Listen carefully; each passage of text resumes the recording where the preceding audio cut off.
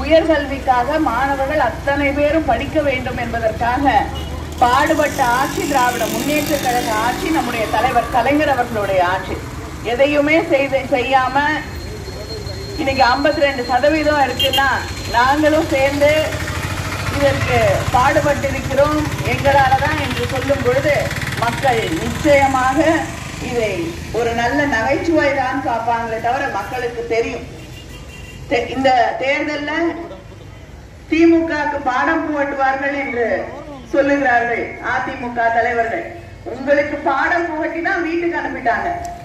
இல்லையா? இன்று பேசிய முன்னாள் முதலமைச்சர் பழனிசாமி சொல்லியிருக்கிறார். கொடநாடு கொலை வழக்கு கொடநாட்டுல கொள்ளை நடந்து கொலைகள் பல நடந்தது.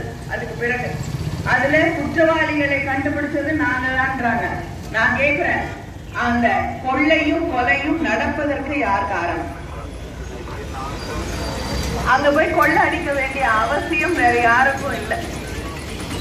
அங்கிருந்து என்னென்ன எடுத்துட்டு வரப்பட்டது எத்தனை ஒடுக்கப்பட்ட மாணவர்களுக்கு கட்டணம் தேவையில்லை.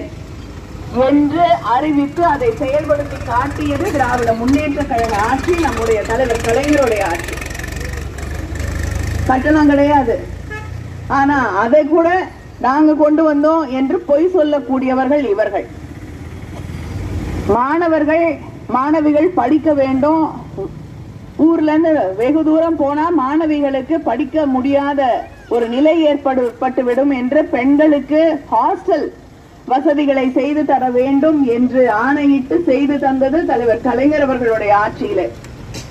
முதுகலை பட்டதாரிகளாக படிக்க ஆசை அறிவியல் கல்லூரிகள்ல கட்டணம் கிடைக்கு அந்த கொலை இது எல்லாத்துக்கும் காரணம் பின்னணியிலே யார் இருக்கிறார்கள்? அங்கே சாட்சி சொன்ன வ- வந்தவர்கள் எல்லாம் மிரட்டப்பட்டார்கள் கொலை செய்யப்பட்டார்கள். உங்களுடைய ஆட்சியிலே என்பது மக்களுக்கு நினைவிருக்கிறது.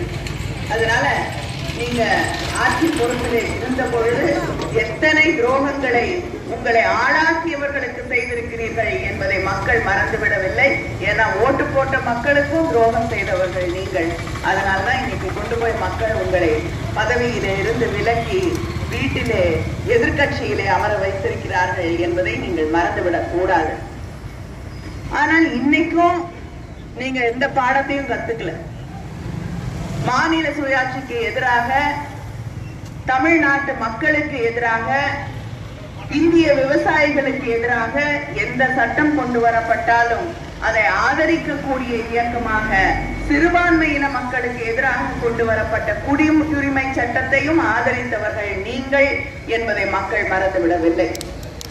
குடியுரிமை சட்டத்துக்கு எதிராக நாங்கள் போராடிய போது இங்கே இருக்கக்கூடிய மக்கள் போராடிய போது அவர்கள் மீதெல்லாம் வழக்கு தொடுத்தவர்கள் அவர்களை அடித்து விரட்டியவர்கள் இங்கே இருக்கக்கூடிய அதிமுகவை சேர்ந்தவர்கள் நீங்கள் ஆட்சியில் இருந்த பொழுது என்பதை மக்கள் மறந்து அரசாங்கம் அந்த பிள்ளைகளுடைய எதிர்காலத்தின் பாதுகாப்பிற்காக வழங்கி இருக்கக்கூடிய ஆட்சி நம்முடைய திராவிட முன்னேற்ற கழக ஆட்சி.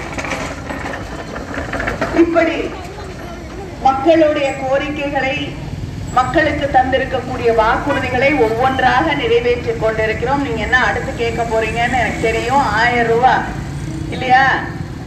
மகளிர் உரிமை தொகை எப்பொழுது வருகிறது என்று கேட்கிறீர்கள்? விரைவிலே. ஏன்னா முதலமைச்சர் ஒரு லிஸ்ட் வச்சிருக்கார். ஒன்னு ரெண்டுன்னு எல்லாத்தையும் நிறைவேற்றி கொண்டிருக்கிறார்.